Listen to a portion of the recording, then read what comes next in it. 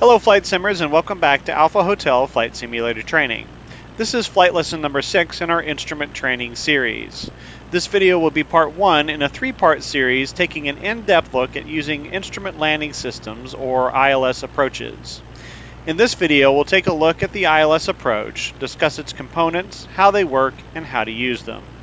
In the videos that follow, we'll take a short IFR flight to demonstrate how to navigate onto and fly the approach, first with the G1000 equipped Cessna 172, then with the Cessna 172 Classic or steam gauge panel. Before we start this video, I'll mention that it's very important to be familiar with the basics of instrument flying, as well as having a fundamental grasp on the basics of how instrument approaches work and how to read instrument approach charts. It's also a good idea to be familiar with the basics of VOR and NDB navigation, as well as knowing how to use DME. It's also not a bad idea to know how an HSI and a flight director work if you're using those to shoot the approach, and a working knowledge of how to use the GNS 530 and 430 or G1000 is also helpful if you're going to fly using those systems. We won't be using the GPS functions on those units to shoot the approaches, but we will be using some of their other features. I'll leave links to all those videos, plus a link to the entire instrument training series in this video's description. So what is an ILS? An ILS, or Instrument Landing System, is an instrument approach system that uses ground-based radio navigation aids to provide lateral, or left and right guidance, as well as vertical, or up and down guidance to a runway. Since it provides both types of guidance to the runway using ground-based equipment, it's considered to be a precision approach. It's probably the most commonly used type of precision approach in the world and is the most common type of instrument approach used at commercial airports. There are three different categories of ILS approaches, Category 1, Category 2, and Category 3, often abbreviated CAT 1, CAT 2, and CAT 3. Both Cat 2 and Cat 3 approaches require special equipment, training, and certification to be able to fly them in the real world, with Cat 3 instrument approaches usually being flown with auto land or a heads up guidance system, and Cat 2 usually requiring at least a flight director and some redundant instruments. So these are typically only flown by airliners and advanced business and military aircraft in the real world. Cat 1 approaches are available for any instrument rated pilot to fly and are pretty much the only type of ILS approach that light aircraft can fly, so that will be the focus of this video. While each ILS approach is unique to the runway it serves and minimums can vary, most Cat 1 ILS approaches have minimums of around a ceiling of 200 feet height above touchdown zone elevation and a visibility of one half statute mile or 2400 runway visual range or RVR. There are some ILS approaches that have visibility minimums of 1800 RVR, and usually to fly these approaches, you either need an advanced approach lighting system available, such as an ALSF 2 type system, which is the big approach lighting system with the red lights on the side, or the aircraft needs to have an autopilot flight director or heads up device uh, available and that is used to the decision altitude. And since the Cessna 172 Classic has an autopilot and the G1000 edition has uh, both an autopilot and a flight director, these are minimums that GA aircraft such as the Cessna 172 can use if they're so equipped with those systems. And again, some ILS approaches may have higher minimums due to terrain or other local factors. The ground-based components of an ILS include a localizer, a glide slope, and an approach lighting system or ALS. Some systems still have marker beacons and some will have compass locators. Let's take a look at these components in depth. The localizer is a system that gives you lateral guidance to the runway. You can think of it as being like a VOR, but instead of putting out 360 radials, it puts out only one course, and it's pointed straight down the runway it serves. In addition to having only one course, it's also more precise than a VOR. Whereas a VOR will go full scale deflection on the CDI needle when you're 10 degrees or more off course, a localizer needle will go full scale deflection when you're only about 2.5 degrees off course, so it's roughly four times more sensitive or more accurate than a VOR. The width of a localizer course can actually be between 3 and 6 degrees side to side depending on the length of the runway it serves. Like a VOR radio, the course gets narrower as you approach the transmitter, and it will be calibrated so that the course is 700 feet wide side to side or 350 feet each side of the center of the course at the runway threshold. Localizers transmit on frequencies between 108 and 112 MHz, which is the same as the lower end of the VOR frequency range. Because of this, frequencies with odd tenth decimal places like 108.1, 108.15, 108.3, and so on are reserved for localizer transmitters. Localizers also broadcast an ID signal like VORs that you can use to make sure you have the right station tuned in. All localizer identifiers will be four letters and start with the letter I. Like VORs, localizers can also be equipped with distance measuring equipment or DME. We can tell if a localizer is so equipped if the nav data box for it has a channel frequency on FAA charts. You also want to check the procedure title and notes for any ILS you fly to see if DME is required for that approach. The range on a standard localizer is 10 nautical miles if you are within 35 degrees of the approach course, and 18 nautical miles if you are within 10 degrees of the approach course. There are, however, localizers that have more powerful transmitters and are certified to a greater range, and you can tell that they're certified to a greater range if they are depicted to be able to be used uh, out beyond the standard range. For example, if we look at the ILS uh, to runway 27 center in Chicago uh, at O'Hare Airport, you'll notice that this one is certified to be used all the way out to 28 uh, nautical miles and probably just a little bit beyond that uh, to intercept prior to this fix. So almost 30 nautical miles that you can receive that ILS uh, transmitter. Localizer antennas are located beyond the opposite end of the runway they serve, and they look like a row of orange boxes, kind of with spikes coming out of them.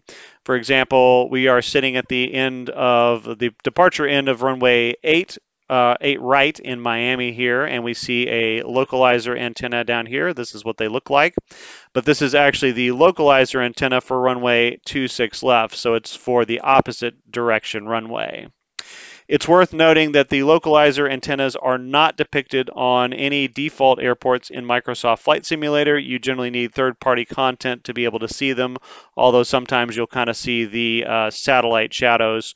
Uh, where the localizer antennas are lo located in real life, they just won't be depicted as an actual structure. So let's take a look at some of the localizer information that we can find on an ILS uh, chart. First of all, I want to mention that uh, it's important to remember that anytime you're looking at an ILS chart, you're actually looking at two different charts. You're looking at an approach chart for the ILS, and you're looking at an approach chart for the localizer only approach without the glide slope. Uh, so some of the depictions that are on here will be only for the ILS, and some of the things that are on this chart will be only for the localizer approach. Uh, the localizer information is located on several different areas on the chart. It's located on the top left corner uh, of the briefing strip here. You can see it tells us it is a localizer DME, so we know that it has DME. It gives us the four-letter identifier for the nav aid. It tells us the frequency, and it also lists that there is a channel here. This is again for military users, and we can't do anything with this as civilian users, uh, but it does tell us again that it has DME. It does give us the approach course uh, in the box right next to us. So the inbound course on this localizer is 356. And then down on the main approach chart, uh, it has the localizer uh, in a bolded box. Uh, this is because this is the primary nav aid associated with this approach. Uh, it tells us that it is a localizer. Localizers will be identified like this. You'll notice it doesn't have that identifier on any of the VOR boxes that are uh, on the chart here. It gives us the frequency again, it gives us the identifier again, and then it spells out the identifier in Morse code. If you're flying an older aircraft that won't identify it for you digitally, you'll have to tune up the radio and listen to the Morse code to make sure that you're not listening to the wrong transmitter. And we'll talk about this here in a little bit, but in some at some airports they have uh, a localizer that goes, you know, one direction on a runway and a localizer that goes the other direction on a runway, and uh, usually only one of those is active at a time, and the tower uh, will flip a switch to uh, determine which one is the active one. Uh, and usually they have different identifiers, uh, so a lot of times you can uh, turn on the radio and either look at the digital ID or listen to the Morse code. And in the real world, if they had the wrong one turned on, you would hear the wrong identifier. I have actually had that happen to me a few times where I've started in on the approach, listened to the ID, and said, oh, hey, that's the wrong ID.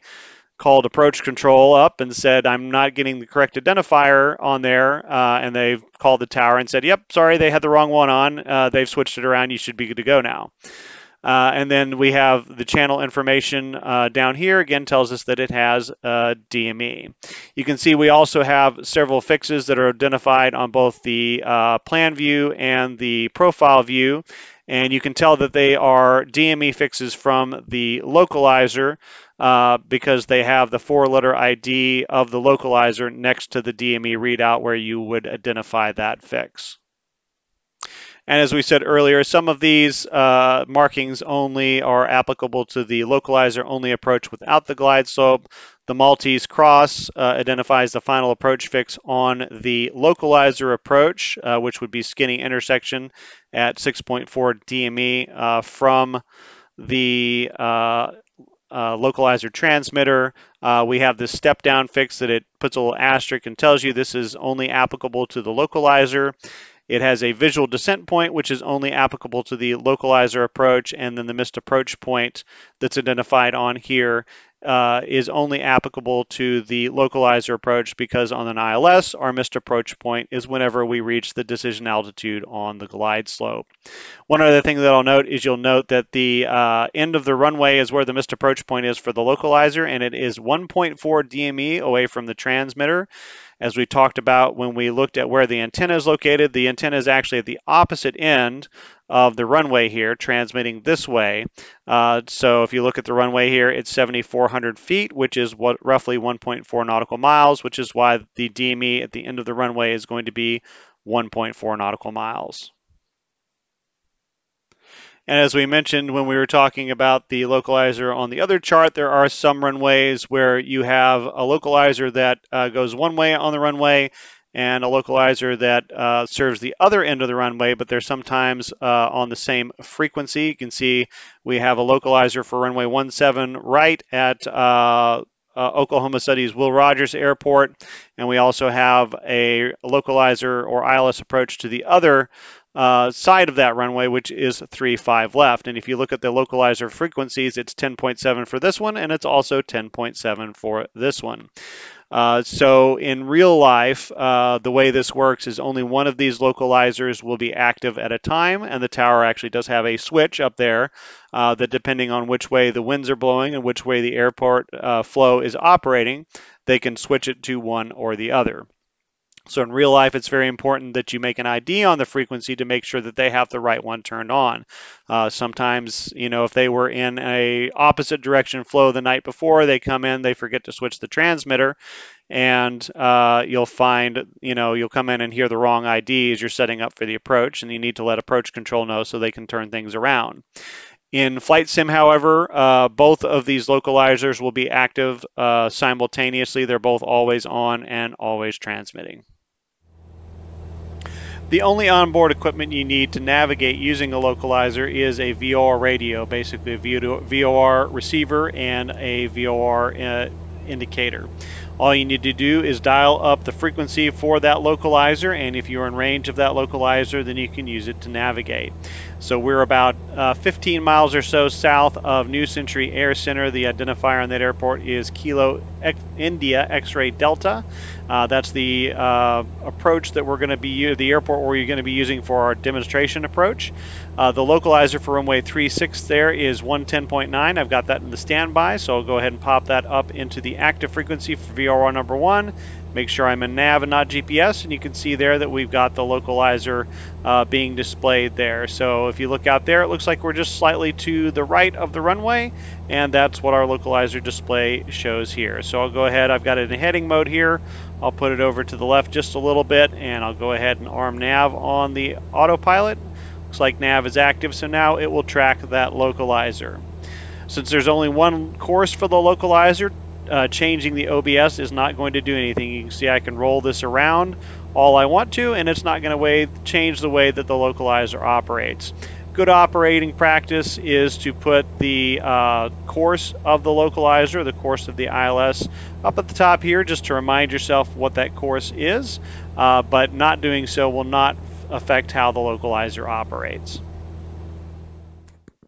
Most electronic HSIs will automatically set the localizer course for you.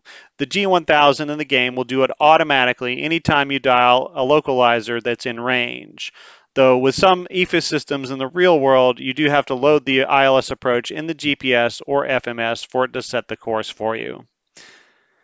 If you're flying an aircraft with a mechanical HSI, which are only third-party aircraft right now, you want to rotate the OBS so that the arrow is on the inbound course.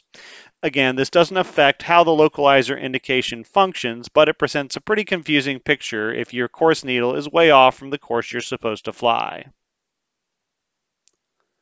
Localizer course indications work just like VOR course indications.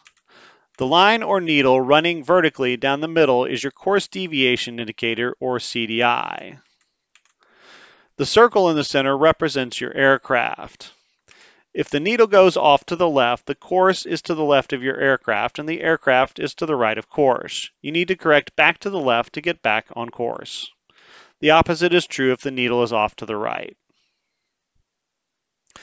Other than only transmitting one course, the only difference between flying a localizer and a VOR is how sensitive it is. Since it's about four times more sensitive than a VOR, you need to use much smaller corrections to keep it centered, usually heading changes of no more than 10 degrees when you're far away from the transmitter, and no more than about 5 degrees when you're getting close to the runway. You also want to use very small bank angles, usually only about 5 to 10 degrees to make very gradual changes in heading. Just like a VOR radial, a localizer course gets more sensitive as you get close to the station, so the corrections you use need to get smaller and smaller as you get close to the runway. A technique called bracketing is used when tracking a localizer in a crosswind. This involves finding the heading or crosswind correction angle that keeps the needle from moving regardless of whether the needle is centered. Once you find this heading, make 5 to 10 degree corrections from that heading to center the needle and stay on course. Be aware that winds may change as you descend on the glide slope and require changes to the amount of crosswind correction you require.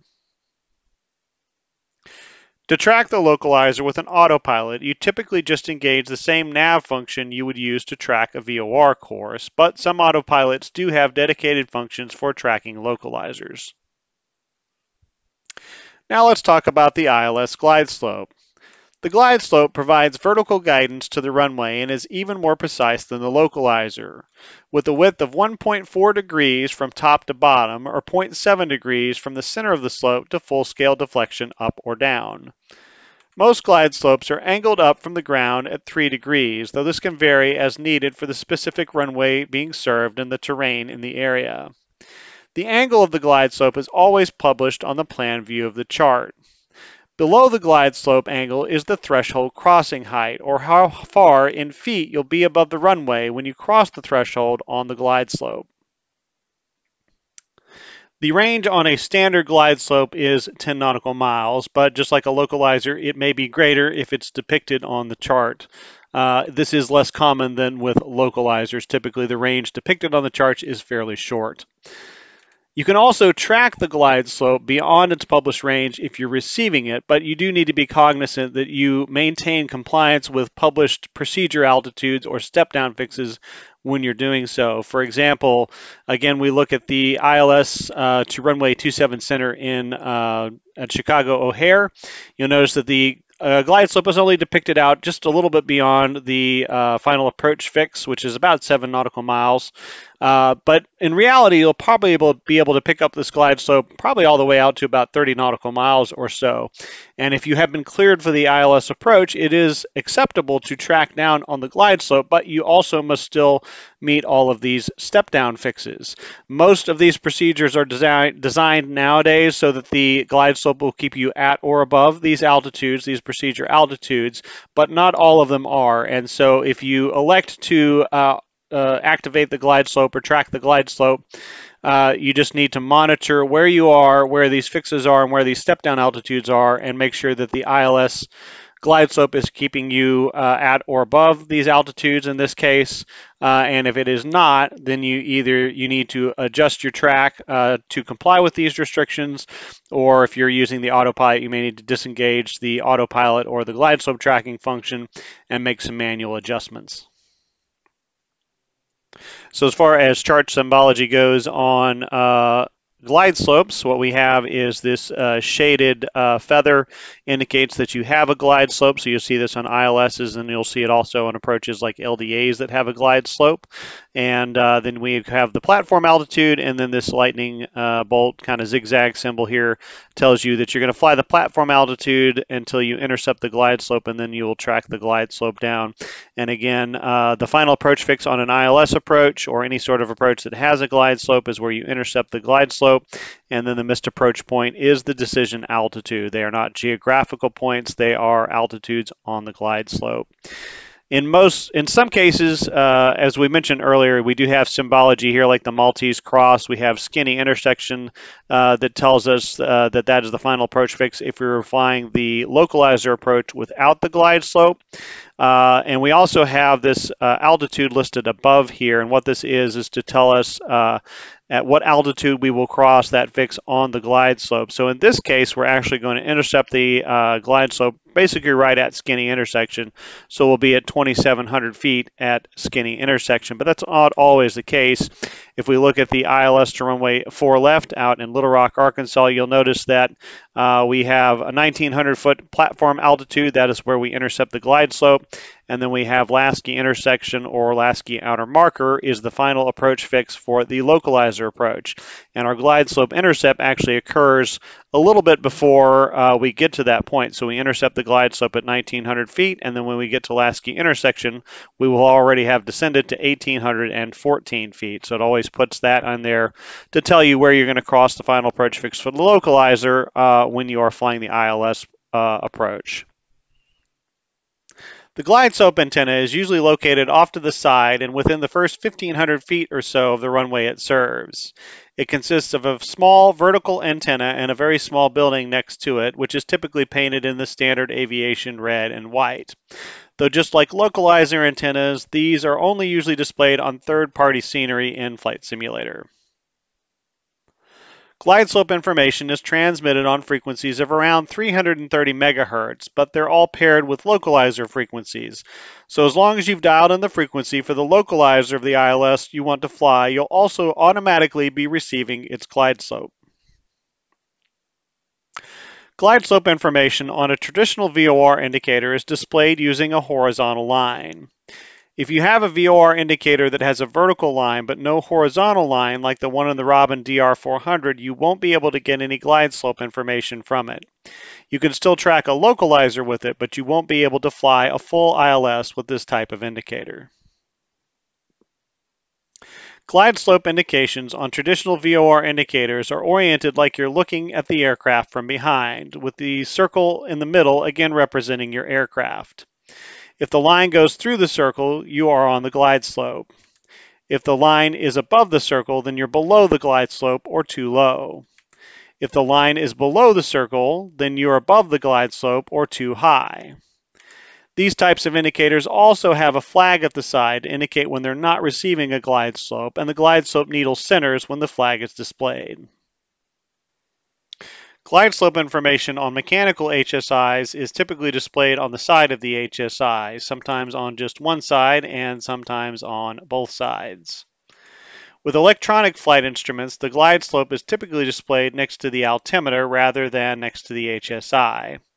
This display will typically appear anytime you've tuned and are receiving a glide slope and will either display no glide slope or have the glide slope indication removed entirely if you're not receiving a glide slope. To accurately fly a glide slope, we need to know about what rate of descent we'll need to fly to be able to track it. Luckily, the FAA does have a table for that. It's called the Climb and Descent Table. Uh, you can just search for this online, look for FAA Climb and Descent Table, and uh, several of these will pop up. And then it's also available in uh, FAA Advisory Circular 120-180, which talks about uh, constant angle uh, non-precision approaches, how to fly those, uh, but it also has the table in the back of that. So the way we use this table is it's got our climb and descent angle, which is also our glide slope in degrees over here.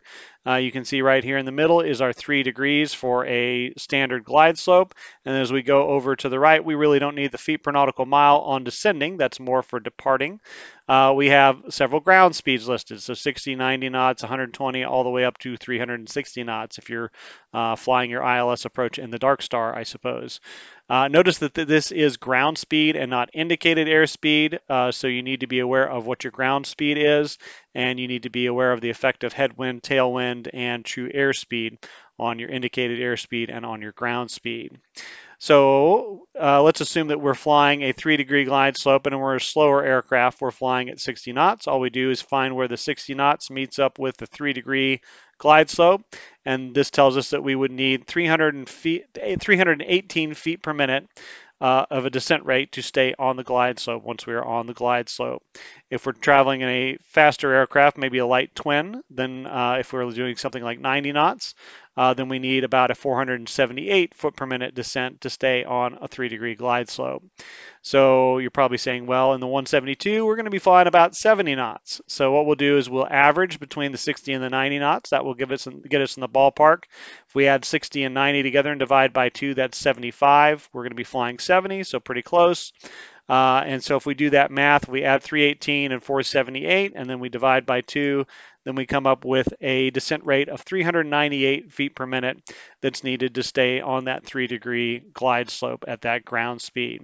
This doesn't have to be exact. Uh, usually if you're within 50 feet per minute or so, I really can't fly a vertical accuracy of more than about 50 feet per minute. So as long as you're in the ballpark with this, this sure should work out pretty well. And you may have to adjust that descent rate as you're flying the glide slope anyway. There's also a formula you can use if you want kind of a quick and dirty way to do it, uh, or if you have a calculator handy, you can also do that. Uh, what you want to do is for a standard three degree glide slope, divide your ground speed by two and then multiply that number by 10. That's kind of the easy mental math way to do it. Or if you have a calculator handy, or it's just easier for you to do it this way, just multiply your ground speed by five. It's two different ways to do basically the same math, uh, and it will get you kind of a rough estimation of what your uh, descent rate should be to stay on the glide slope. For example, if we have a three degree glide slope, we're flying 75 knots of ground speed. Uh, again, we divide 75 by 2, that's uh, 3.75. Uh, and then you multiply that 10, that's 375, so about 375 feet per minute. And if you have a calculator handy and you take 75 and multiply it times 5, you're going to come up with the same answer.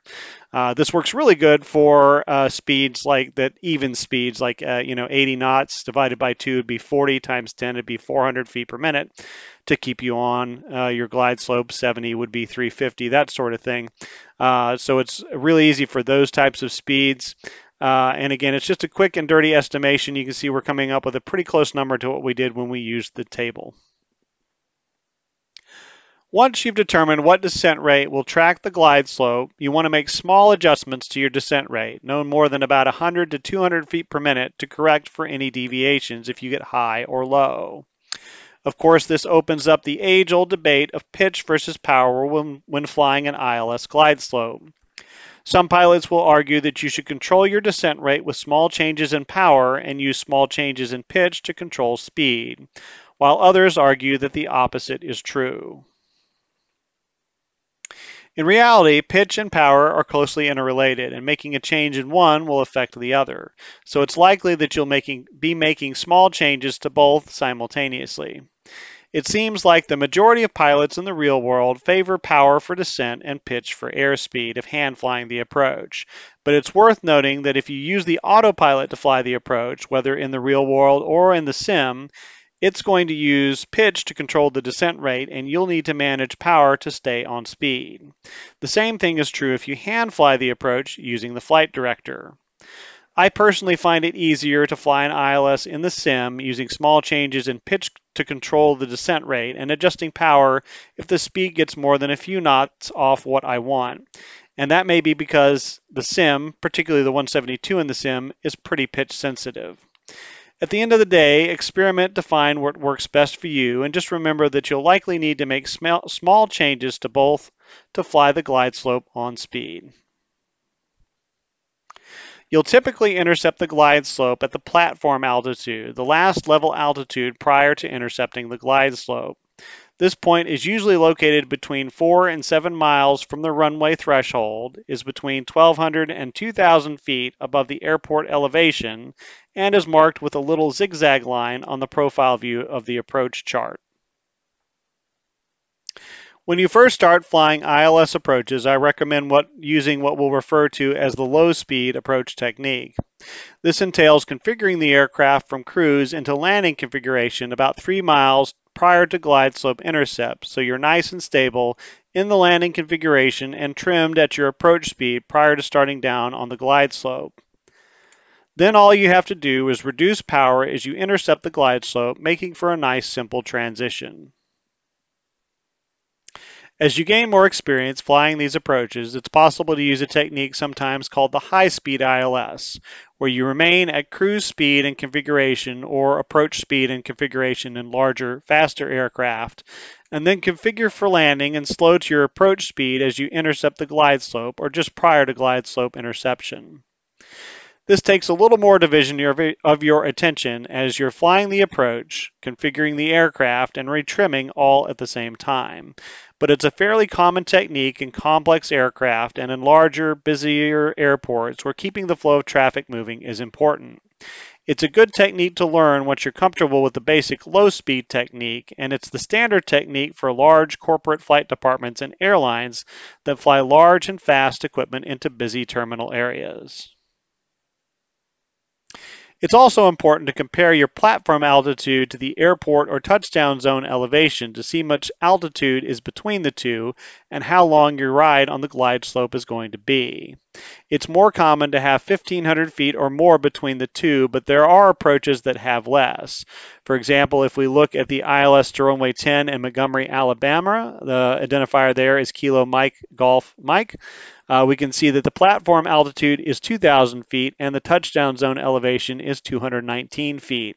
Doing the math on that, there's a total distance of 1,781 feet between the platform altitude and the touchdown zone elevation. So we're riding about 1,800 feet on the glide slope from the time we intercept it until the time that we land. In contrast, if we look out at uh, the ILS to runway 32 in Pittsburgh, the platform altitude is 2,500 feet and the touchdown zone elevation is 1,124 feet, with the airport being slightly higher than that. Uh, so the total distance that we're going to ride on the glide slope from the time we intercept it until the time we touch down is going to be 1,376 feet, so quite a bit less time on the glide slope. If you're using the high speed technique, you may want to configure a little early on approaches with less than 1500 feet between the glide slope intercept and the touchdown zone elevation. Most professional flight departments have what are called stabilized approach criteria that they use when flying ILS approaches. Stabilized approaches mean that by 1,000 feet above the touchdown zone elevation, the aircraft must be fully configured for landing, at the approach speed, on the approach course, and on the glide slope. These are good criteria to use regardless of whether you're using the low speed or high speed ILS technique, and you should consider if you need to modify your approach technique to meet these criteria if you plan to use the high speed technique on an approach with minimal altitude between glide slope intercept and the touchdown zone elevation.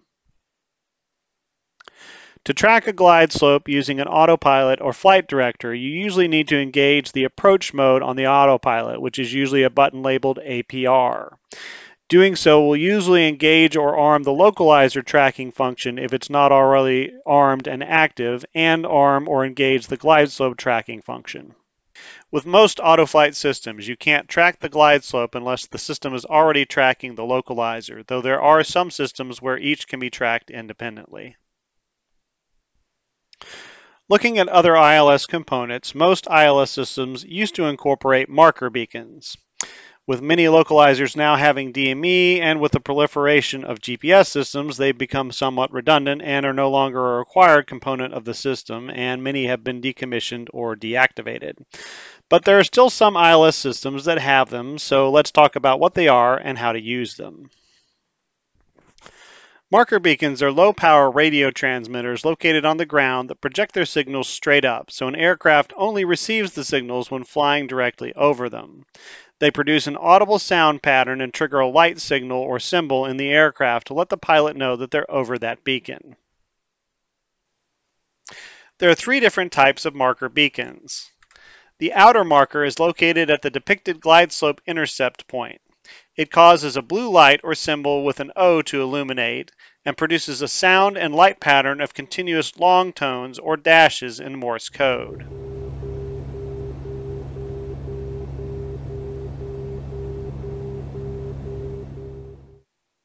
The middle marker is located at the point where the Category 1 decision altitude intercepts the glide slope, which is usually about 3,500 feet from the approach end of the runway, where you would be at 200 feet above the touchdown zone elevation on the glide slope. It produces a series of alternating long and short tones or dashes and dots and activates an amber light or symbol with an M on it. These were the first marker beacons to be phased out in mass, so I couldn't find any real-world examples of it in Flight Simulator, but here's what it looks like and sounds like on Wikipedia.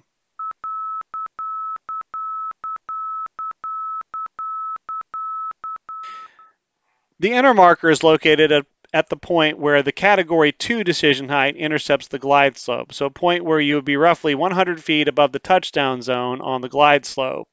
It produces a continuous series of short tones or dots and illuminates a white light with a symbol or symbol with an I on it. These are only necessary on Category 2 approaches, but all Category 2 approaches can be flown as Cat 1 approaches, so you may hear or see it if you're flying an ILS that can be flown as a Cat 2.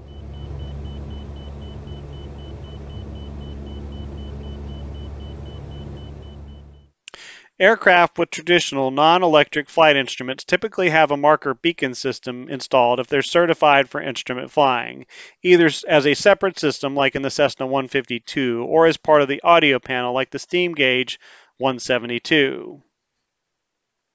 Most EFIS systems incorporate a marker beacon system into the EFIS system itself, so the symbols will display somewhere on the screens anytime they're activated.